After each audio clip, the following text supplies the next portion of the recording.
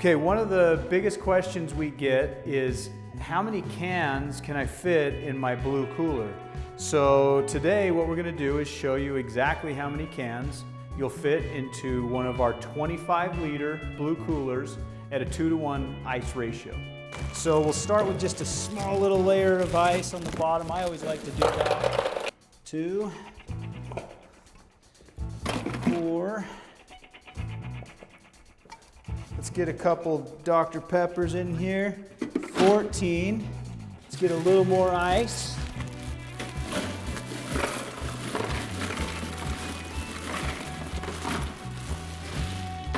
Let's call it 23 to be safe.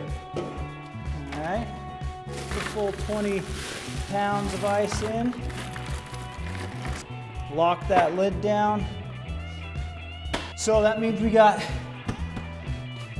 23 cans, about 18 pounds of ice, two to one ice ratio in the 25 liter blue cooler, and you should get a good solid five to seven days of ice retention and cold drinks in that cooler right there.